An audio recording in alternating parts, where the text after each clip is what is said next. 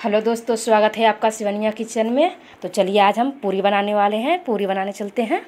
तो दोस्तों, पूरी बनाने के लिए मैंने यहाँ एक कटोरी आटा लिया है। इसे हम पहले गूँथ लेंगे। पूरी के लिए थोड़ा सा सख्त आटा गूँथेंगे। ज़्यादा सख्त नहीं, जैसे हम रोटी पराठा के लिए आटा गूँथते हैं, उससे सख्त आटा गूँथें।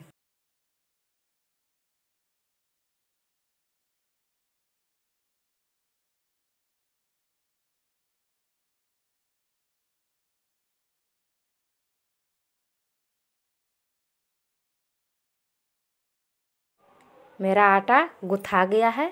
हम इसे पंद्रह मिनट तक आटा सेट होने के लिए रख देंगे। तो अब पंद्रह मिनट हो चुका है। आटा सेट हो चुका है तो अब इसे एक बार और मिला लेंगे।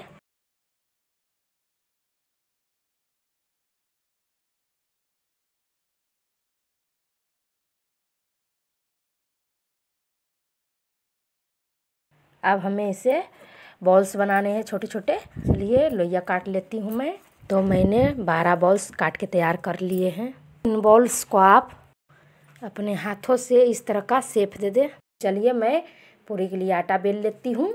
दोस्तों, पूरी के गोल सेप देने के लिए इसे आप हर साइड से थोड़ा थोड़ा इस तरह से बेल लीजिए। यहाँ पर मैं परथन लगा के बेल रही हूँ। चाहे तो आप परथन लगा के बेल सकते हैं, चाहे तो आप तेल लगा के भी बेल सकते तो इसी स्टेज तक पूरी को बेलेंगे। ज़्यादा बड़ा नहीं करेंगे। तो देखिए, मैंने सारे बेल के तैयार कर लिए हैं। तो चलिए इसको छानते हैं। तो मैंने गैस को ऑन कर लिया है। मैं अब इसमें तेल डाल रही हूँ। गैस को आप हाई फ्लेम पर रखें।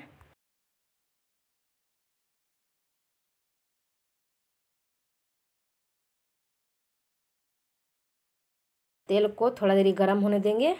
मेरा तेल गर्म हो चुका है। क्योंकि तेल गर्म है। अब हम इसमें धीरे धीरे पूड़ी डालेंगे इस तरह।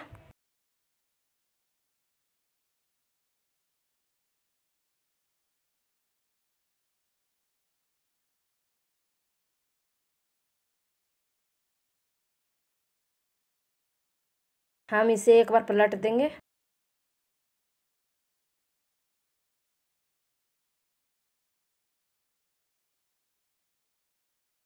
जब पूरी इस तरह फूल जाए तो हम पूरी को निकाल देंगे। इसी तरह मैं सारी पूरियाँ बना लूँगी। अगर तेल आप ज़्यादा यूज़ कर रहे हैं तो आप शुरुआत में ही आप चार पाँच पूरी डाल सकते हैं।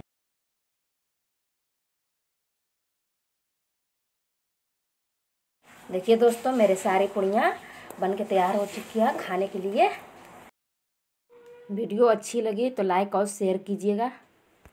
चैनल को सब्सक्राइब कीजिएगा। तो मिलती हूँ आप सबके साथ एक नई वीडियो में।